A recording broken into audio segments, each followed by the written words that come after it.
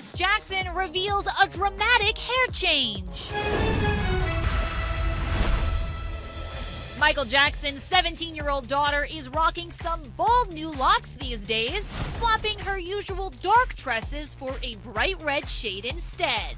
On Saturday, she showed off her new look on Instagram, thanking her fans for getting her to the 100,000 follower milestone.